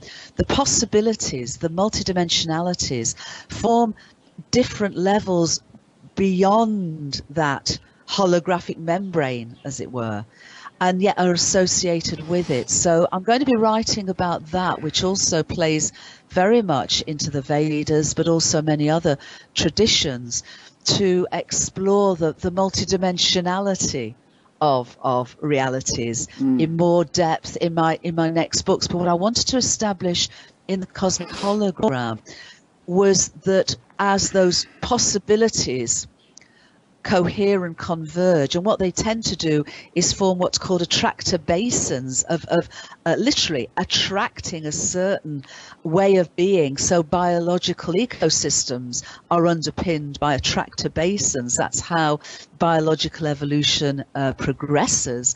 Um, all complex systems are underpinned. The entire universe is pinned by these attractors. So attractors of love, attractors of fear, attractors of whatever. But when they are manifest in the physical realm, it's that manifestation that then adds to what perhaps the, the, the Hindu tradition of the Akashic field would be as the holographic boundary of what we call space time. But possibilities are playing out on many multidimensional levels. Mm. Multidimensional experiences and, and intelligence is playing out. The holographic boundary is what gets fed into what we call the physical realm, essentially. Mm. Would there be, yeah, I mean, obviously we understand that our, even in terms of the, the gross realm, our, our, human capacity for perception is very limited by, you know, we just a little sliver of the electromagnetic spectrum that which we see as visible light and little sliver of the total range of possible sounds and so on. Um, but, um, you know, then taking into account all the, the multidimensionality that you're referring to, all sorts of subtle realms that, that modern science doesn't even recognize exist. Um, are you saying that uh, each sort of I mean, you, you referred to the holographic thing in the physical realm, but it would seem to me that all realms and all strata of creation uh, would work by this principle of holography, if any of them do. Yeah, I, I, agree with you. It's just that when we're when we're considering the physical realm, it is that that particular boundary of what you know that is within what we call space time and, and what we call energy matter which is information expressed as space time information expressed as energy matter. It's what then is manifested in the physical realm that is the, the this pixelated at the Planck scale. Uh-huh well, the physical realm is just the one we're accustomed to functioning in, but that, sure. that doesn't give it any sort of superiority to other realms no, no, no. that we don't function in. And perhaps those Good realms. Lord, no. No. Good um, Lord, no, absolutely not. Yeah. I want to get I want to get people over the bridge from a materialistic, dualistic perspective to a multidimensional, unified understanding of which our physical universe is an exquisite co-creative construction of consciousness. Here, here. Me too. That just that just gets us over the bridge, and then we can start the real adventure. Yeah, and that inspires me to just to, to comment on the the fact that I always have the feeling I always just um, have this sort of awestruck notion that God is hiding in plain sight, and you were talking earlier about how much information is potentially encoded at the Planck scale. So, you know, many, many orders of magnitude beyond what we can encode through our crude technologies. But if you think about it, I mean, take a little leaf or a single cell in a leaf, and there's so much information in that cell. It's such a marvelous, intricate you know, yes. li little thing. And then there are trillions of them in, in, in one entity and, and, and so on and so on out, out throughout the whole universe. So just think, and then there's the whole karmic thing of how every, Indra's net, how everything is actually connected directly with everything else and influencing everything else. And I mean, it just boggles the mind. And so you think about the amount of information. I mean, even the way our eye sees, the amount of information that's taken in compared to what a webcam or a camcorder or any kind of digital device can take in is minuscule. So, you know, the, the intelligence that is functioning in every bit of creation, every chunk of creation, every, you know, large and small, top to bottom, is just beyond comprehension. So how much data that represents is, you know, it's amazing to consider. I agree. I mean, there are some suggestions that it could be 10 to the 120.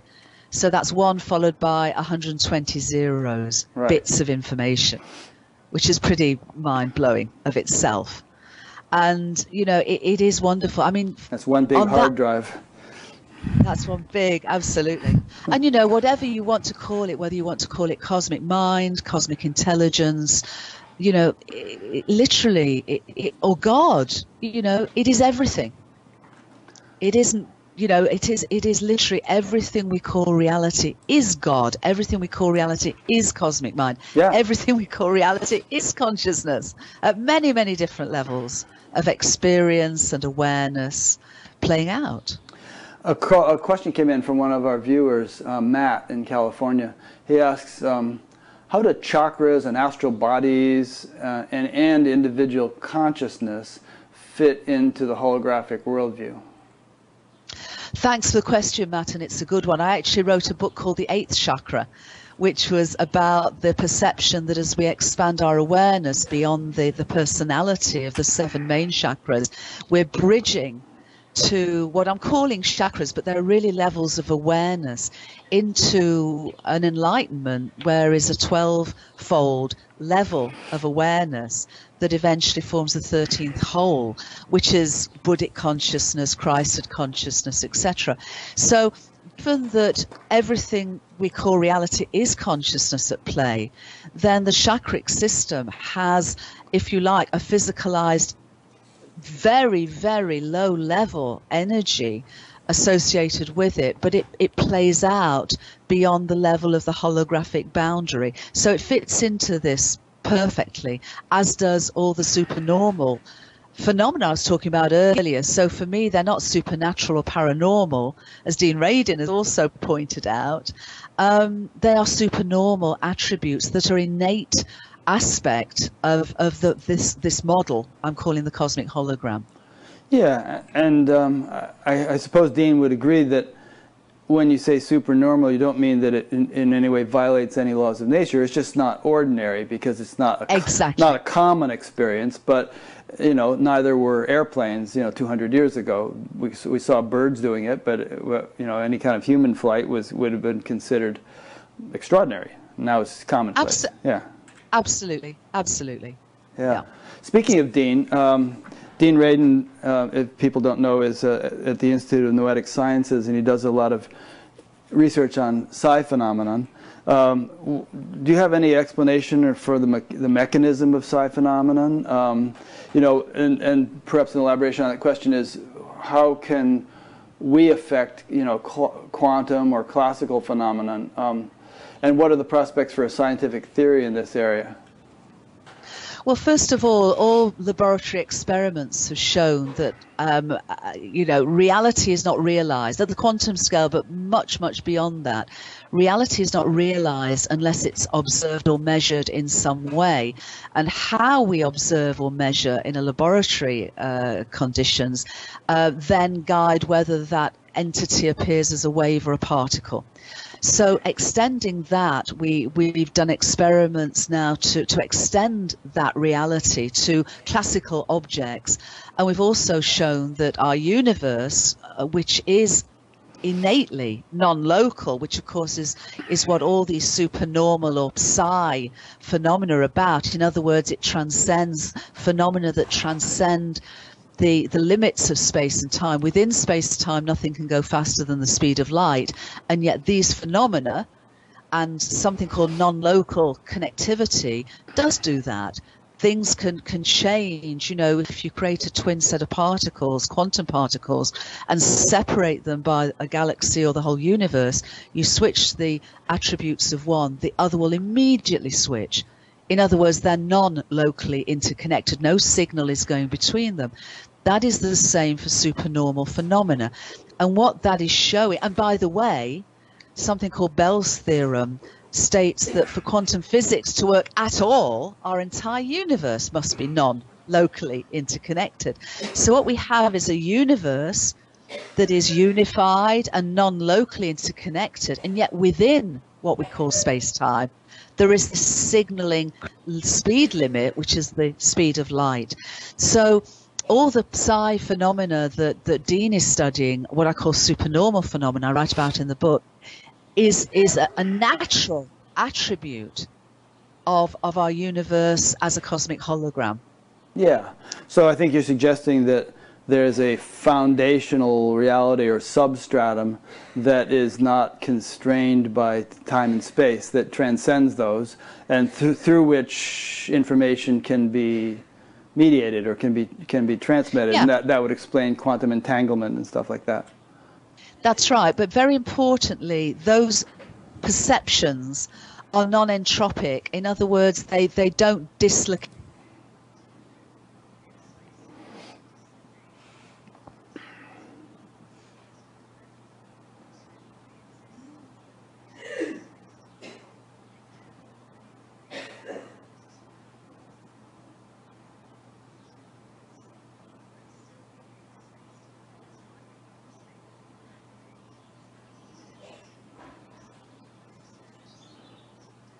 Yeah.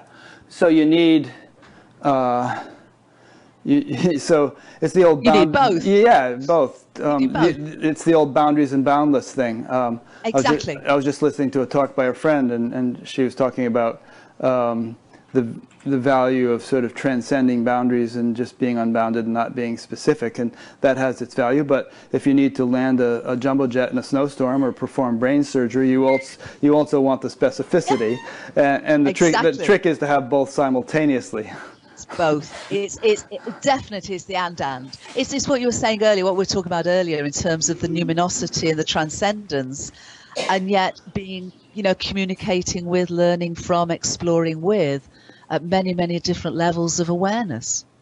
Yeah. So now a minute ago you said something about um, I forget how you phrased it, but are, are, you one of these people who who would say that the moon doesn't exist unless someone perceives it, or do you don't you don't go there? I do go there actually, and I don't use the point of the moon, but I do use the, the, the, the idea of a tree falls in a distant forest and nobody sees mm-hmm. it. And what I'm saying is, when you understand that it's entire, our entire universe is observing itself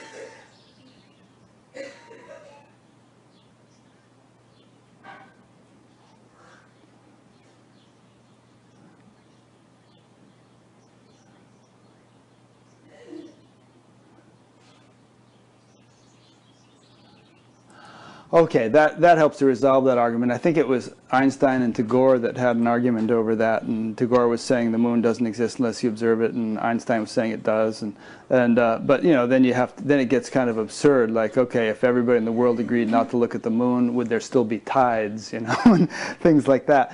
But um, but it's a very it's a very egoistic approach to consciousness. Yeah. if I'm not seeing it, it doesn't exist. Think of the whole universe literally as a universe soul observing itself. Right, and it took quite a few billion years before there could be life forms capable of observing anything, but meanwhile the universe had to evolve. Exactly. Yeah. Exactly. Now, this thing you're talking about, the universe observing itself, is very interesting because there are some who, who, who kind of like um, outline the mechanics of manifestation in terms of that very thing. They say consciousness, well, actually, I should reference Maharishi. He, he, he talked about this at great length, but that consciousness, being conscious, observes itself. It can't help but do so because it's by nature has to observe something. But if there's nothing around for it to observe, it observes itself. But in so doing, it sets up a, a trilogy, as it were, between observer, observed, and process of observation. Uh, and that begins to bifurcate and symmetry break into more and more and more complexity, which gives rise to the whole manifest universe. Um, and he also talked about how, you know, on the other hand, how could that be happening? Because it's only consciousness, and so how could there be this this diversification? And so there's this infinite frequency that gets set up between the one and the many, and that infinite frequency is like this hum at the foundation of creation, uh, which has sort of infinite potency or potentiality within it. And uh, anyway, he he explained it much more eloquently than that, but I, I thought you might find that interesting. I find it very interesting, and it's very complementary to, to what you know I'm saying in the book, essentially. Mm-hmm. Great. and, and, and yeah, what I love is what he's saying, and what the, the ancient perception, certainly the Vedas taught, you know, is is is very you know um, coherent, very complementary with what leading edge science is pointing at. Which is why you know the whole point of this is to reconcile science and, and spiritual perspectives and within the unified reality that consciousness is the whole world. Yeah. Here's a couple of interesting points from our friend Robin, who who um, would like to have a conversation with you later when you get, when you get a chance. But um, I'd like that. Yeah, you might have glanced at the points he, he sent me. But I um, did. Yeah, there's some interesting things in here. For instance, you speak of uh, reality as being fundamentally simple. And he brought up the objection, well, yeah, but quantum field theory and unified field theory are not simple. The physiology is not simple. The course of action, you know, all the karmic ramifications of anything don't seem to be simple. But I think what you're getting at is that if you kind of, the, the deeper you go, the simpler it gets. Um, Absolutely. And, and ultimately, fundamentally, the universe is simple. It gets more complex as it diversifies. Absolutely. I mean, Einstein said uni- the universe is as simple as it can be, but no simpler. Yeah. So what I was doing in the first of seven or eight chapters is, is to actually showing that level of simplicity. But it, what's so beautiful is, for example, if you look at, at networks, complicated networks, the appearance of complication, when you when you pull it down, there are three aspects of a network that matter uh, of their individual units, which are shape, size, and stickiness. Three things. And depending on the shape of a unit, if it's triangular or circular or whatever, depending on its size, and depending on its stickiness, its relationship to the other parts of the network, an incredible level of complexity can evolve. But when you when you distill things down, they are literally as simple as they can be, but no simpler. And that's why you get things like universal classes. You look at the sort of fractals that um, play out in coastlines are the same fractals that play out, you know, through a myriad of, of, the phenomena. The phenomena themselves manifest in what appears to be very, very different ways, very diverse ways. But the rules, the underlying rules, are as simple as they can be, but no simpler. And when you understand it from an algorithmic and an informational sense, you begin to understand why that is the case and the absolute exquisiteness of, of that playing out throughout the whole of, of physical reality. So would a good example of that be, for instance, if you throw a ball, there are an infinite number of trajectories that ball could mm-hmm. take, but it takes the path of least action. It takes the most efficient possible trajectory. Yes. Okay. Yes, and that plays out in, in quantum physics as well. It doesn't just play. The universe is is essentially lazy. Mm-hmm. I don't mean that disrespectfully, but it's the least effort. It's the least resistance. It's the least effort. Yeah, you know? God did take Sunday off, right? Thank, he could have kept working. Thank goodness he did. He could have kept working, but he didn't. Um, I think that this simplicity point has relevance to spiritual seekers in that, you know, some people give, some people have this objection to spiritual practices because they feel like you're doing something, and that's only going to uh, reinforce the notion of a doer. It's going to reinforce your individuality. But I think that there could be a kind of a criterion for spiritual practice that adheres to the law of least effort, and that if a practice were really natural and effortless, then you really aren't doing anything, even though you might be sitting down to apparently do something. But you're kind of um, surrendering to natural processes which conduct the whole thing for you, and so that without any inception of effort uh, or in any inefficiency, uh, the goal is achieved. The goal being maybe transcendence or whatever the nature of the practice is meant to to achieve. I think that's absolutely right. I mean, when I talk about effortlessness, it's when we talk about effort, it's usually there's a resistance. Yeah. Yeah. So for me, spiritual practice, or, or you know, how we live our lives, by going with the flow, you sh- you show up. You know, it's not about sitting on a mountain and doing nothing. You're showing up in whatever's calling you to show up. But then you, you try and get your ego out of the way so that you really can enter into that flow. And yeah. I was with a group of friends. You don't, you don't even week. try to get your ego out of the way because that would be an effort. You, you absolutely could be simpler you, than that. Yeah, and that's the spiritual path, isn't it? So you do get to a point in your own journey where you realize that your ego is, is counterproductive and you don't become ego less, you become ego free. Mm which enables that flow to happen. I was talking with a group of friends. Um, I'm a member of the Evolutionary Leaders Circle, and we're up at um, Alex, Alex, and Allyson Grey's place, COSM, last week. And one of the things we were discussing was was what's happening in the world and the showing up and the effortlessness. And we to a perspective of, of, of perceiving life and perceiving um, as, a, as a river. And sometimes that river is flowing very fast and sometimes it's flowing very slowly. And the point is to when you enter that river you go with the speed of the river. So you show up on the river and you don't try and swim faster than the river. You mm-hmm. don't try and hold yourself back from the river. You go with the flow of the river which mm-hmm. is the least effort that you could bring into the situation yeah row, row, row your boat gently down the stream. You know, you're you're rowing, but you're letting the stream do the work. You're just sort of like having this subtle intention to, you know, not go off into some eddy or get stuck in the banks or whatever. Absolutely, and, and, and, you know, if you look how trout and how salmon uh, jump up the river, mm-hmm. they have an amazing ability to do that. They're aerodynamically or, or water dynamically uh, optimum efficiency to do that and they understand the flow They're so, so naturally just understand that flow, and that enables them to leap these great heights to make their way up the river. Um, you refer in your book to our perfect universe. Um, why perfect? Some people would look at it and say, "Oh, there's all these mistakes and diseases and and sufferings and you know asteroids wiping out populated planets and and so on." How how can you see it as perfect? Well, I wanted to. I was actually being quite facetious in one sense, Mm-hmm. in the sense that I love chocolate cake. I love chocolate cake. And my mum used to bake the most perfect chocolate cake. So what I, I looked at to begin with in the book, I wanted to to see how our universe baked its own cake. You know, what were the instructions? What were the ingredients? What was the, the, the recipe? What was the um, what was the container? So literally to treat our universe as existence and, and evolution as as essentially baking its own perfect chocolate cake.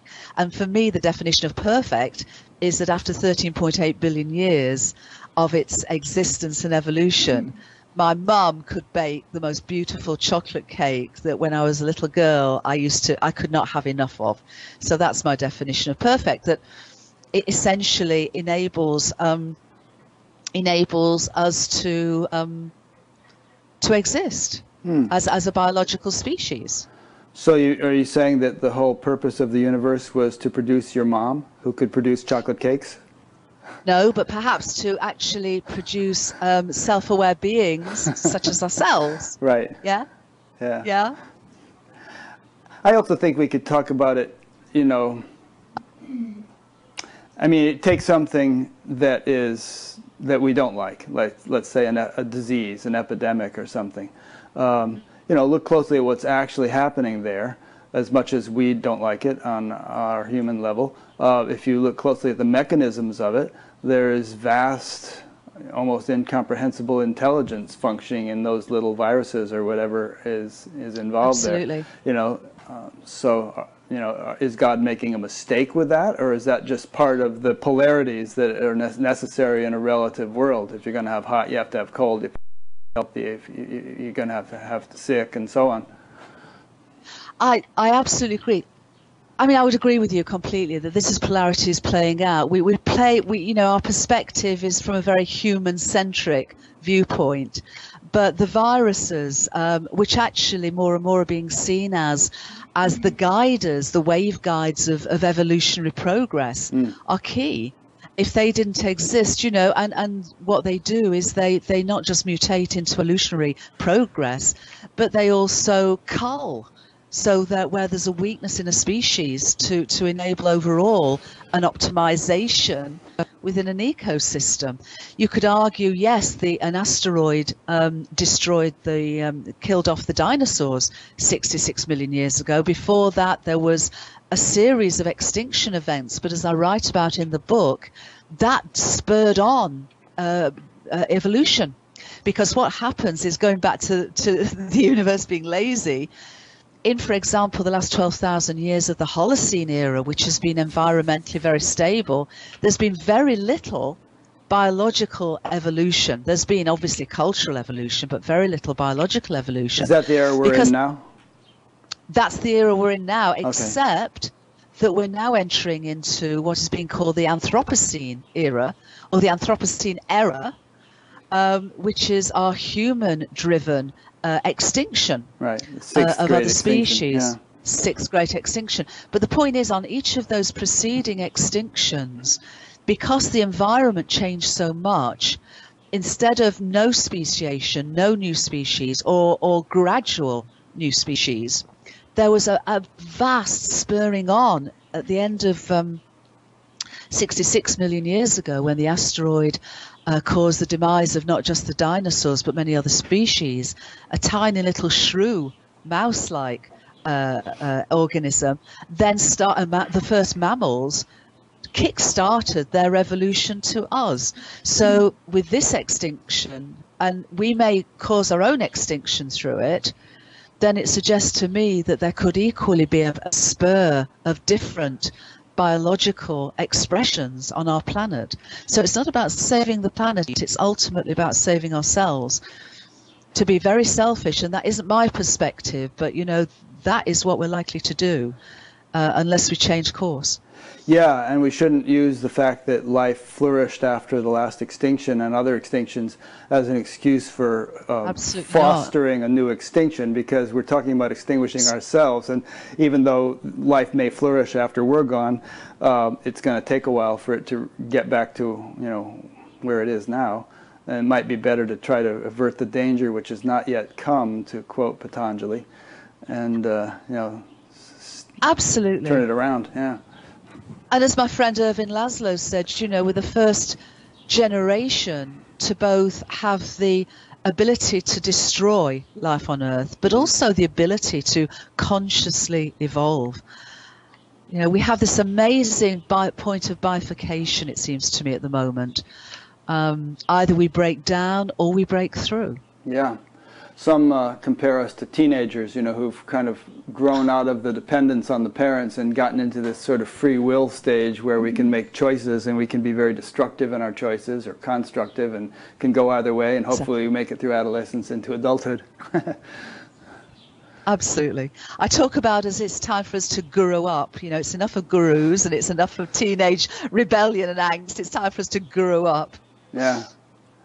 It's interesting that the Hindus speak of, you know, they have Brahma, Vishnu, and Shiva, the creator, the maintainer, and the destroyer, and they, they consider destruction to be as part as much a part of the whole show as creation. Exactly, and that goes back to your point about you know about God and, and uh, polarities. You know, every wave has a beginning, um, a, a peaking, and a falling away and evolution plays out in those waves. All creation, you know, the ancient tradition uh, of the uh, Ida, the Pingala, the Sushumna, going back to Matt's question about the about the chakras and mm-hmm. the and, and the meridians. Um, this threefold, this trinitized, um, you know, manifestation plays out throughout our entire universe. Whether it's the levels of, of sort of energy meridians in a human body, whether it's you know atoms having positive, negative, neutral elements to them, mm. uh, whether it's the it's the, uh, the, the the Vedic tradition of the, the, the creator, the maintainer, and the destroyer, playing out at all scales. Yeah. Well, we have about five minutes left. Um, is there anything really important that we haven't covered? I'm sure. I feel like you know, coming to a vast smorgasbord with a little teacup plate. You know, when I'm talking to you, there's so much we could cover.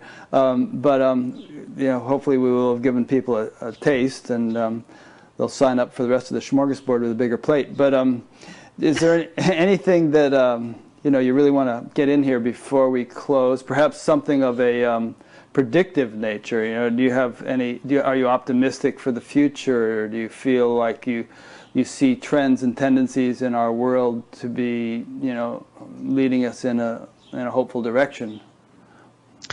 Well, I think what's important is when a complex system is is is unable to sustain itself. What what happens in a complex system is it's under it's underlain by these attractor basins that are non-physical, but they act as the boundaries within which that system can operate. And when a system is unable to sustain those boundaries, it, it starts to, to fall away, it starts to break down. Mm. But sometimes what happens is that there's another attractor system starting to crystallize at a higher level of coherence. So you have the old, as it were, the old paradigm going on to the Thomas Kuhn and, and progression by funerals. You have an old system that's that's about to you know is breaking down, but you have this new possibility, a more coherent possibility beginning to crystallize. And what happens is that the two systems are at that non-physicalized underpinning level coexist but the old system has a deeper rut to it, but it's falling away. The, the new possibility isn't yet fully manifest. And what happens? The two jump between, and it's called flickering. Hmm. So if we have a sense that our global society, our human collective psyche is at a point in its possibility that the old paradigm, the old dualistic perspectives that have driven our dysfunctional behaviors can't hold anymore. Yeah.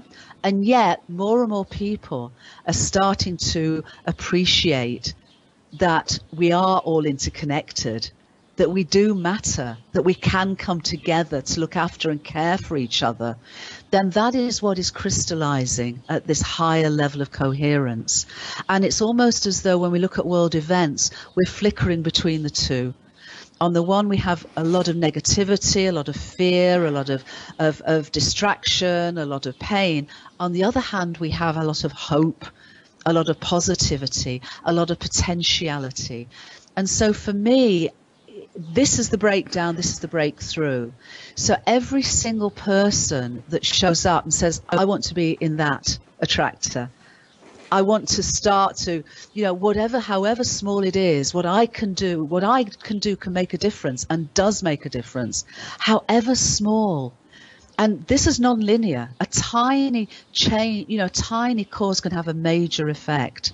So if I show up, that can be the tipping point. I can be that person who tips that into reality.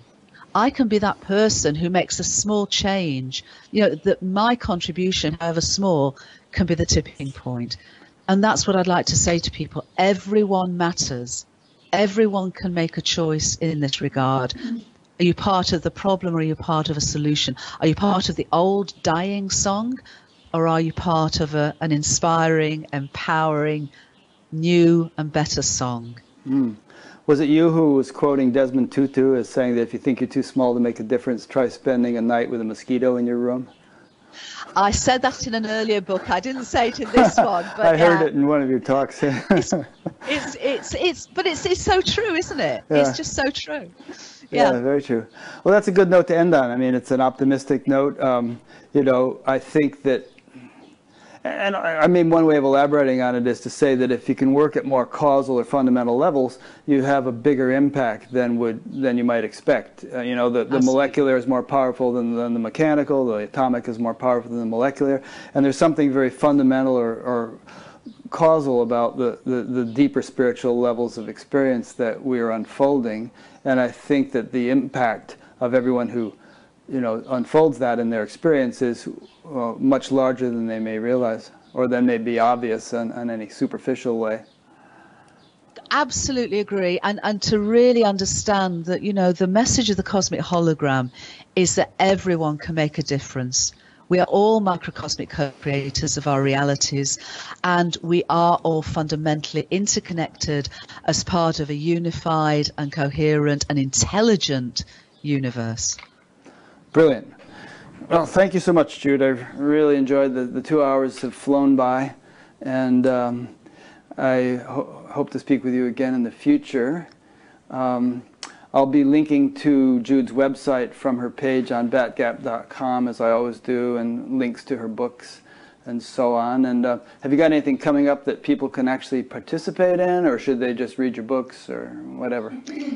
What I'm doing at the moment, I'm doing a lot of interviews, uh, which are lovely, and I've thoroughly enjoyed this, Rick. So thank you so so much. But obviously, I'll, I'll, post this onto my website, and, and any events that I'm doing, and any interviews or articles that I'm writing, all of that will go up on the website. Okay, great. And uh, you have some kind of mailing list people can sign up for are there? Yeah, they can sign up. Folks can sign up for my free uh, uh, newsletter. It's it's sporadic at the moment because I'm so busy. Yeah. Uh, but I'm hoping to get a I'm hoping to get a, a newsletter out in the next few weeks. Um, but keep people if, if, people can visit the reg, the website. We also uh, have a Facebook page uh, for the Whole World View, and we also have a YouTube channel for the Whole World View. Both of those of which um, are posted to the to the web. Good, great. Well, thanks so much, and thanks to your husband Tony for his help. And um, we'll be speaking again. So, to those who've been listening or watching, uh, thank you for doing so. This is an ongoing series, uh, as you probably know. Um, go to batgap.com and explore the menus, and you'll see all sorts of things all the past interviews, list of upcoming interviews, place to be notified by email of, of new interviews, um, audio podcasts, sign up, and so on. So just check out the menus. It's all pretty pretty obvious, and we'll see you next week. Thanks, everyone, and thanks, Rick. Thank you, Jude.